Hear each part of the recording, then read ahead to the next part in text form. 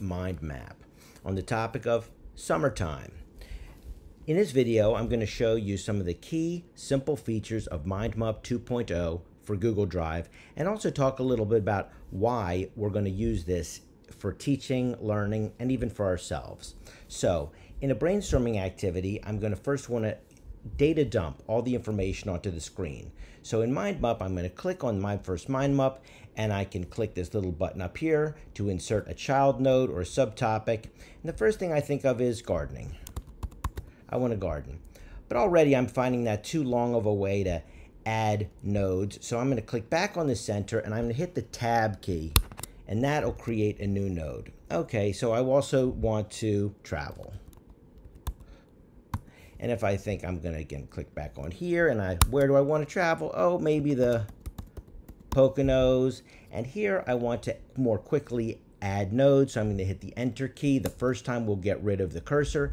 And the second time we'll add the new bubble at that same kind of level as Poconos. Going to go to the beach.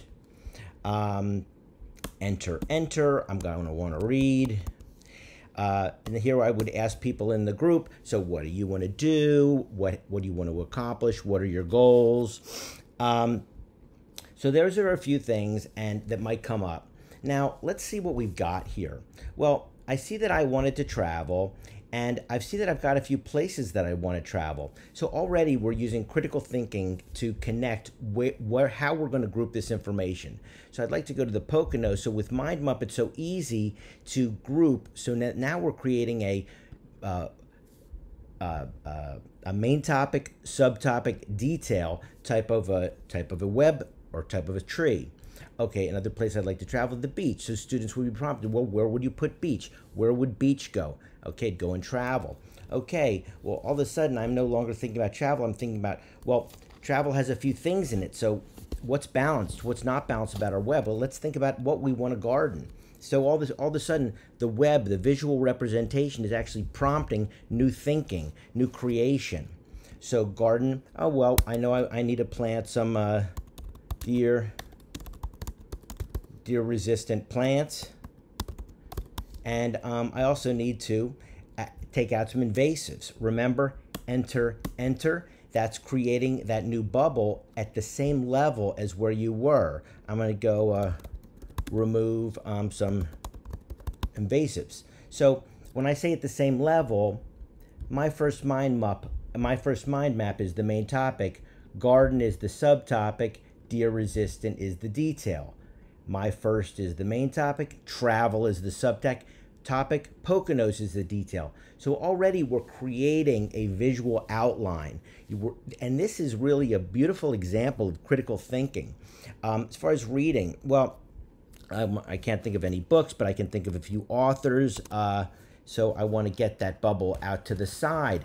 Now, I could just just hit enter and have a new bubble and I could go AM Homes and uh, and then I could then drag that over to the reading. You notice when you drag a bubble, again, it's thinking about how we're going to group things. So this is critical thinking. This is thinking about how our idea fits together. Um, or I can just use from reading, I can use the tab key I could theoretically also use the button over here to create a child node, but I think tab is so much faster.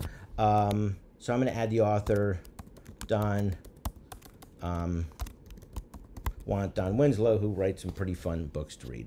So there we go. This is our first mind map. We've used the features of tab and enter and the visual organization of main topic, subtopic detail to create a really cohesive idea.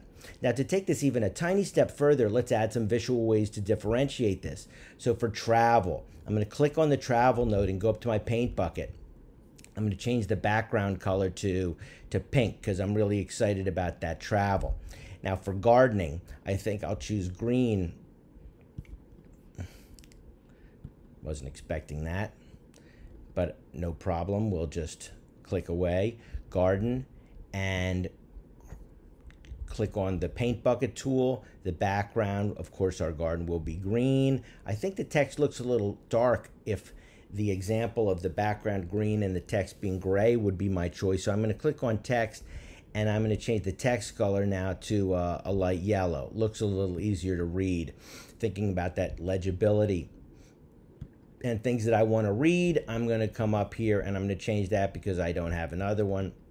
And I'm going to change that to purple. Oh, geez. You know what? Reality strikes. I think I need to add a few more information. I realize that I've got to do a little bit of work. And I'm going to hit the tab key, work. I know I need to work at the ES, uh, ESY a little bit. And, uh, and I also need to also um, do a little prep for the fall because that's what teachers do. Uh, so I'm going to change my background color there to something I haven't used yet, maybe um, turquoise and okay. So here is my beginning mind map. And I think what's important is that you've got the ability to organize things logically, critical think.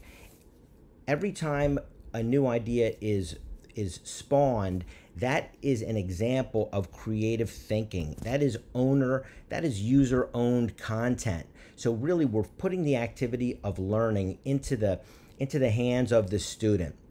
So for these reasons, the ease of visually displaying and organizing your idea and the critical thinking that's involved, this is a great tool and a great strategy for uh, for the classroom or really for life.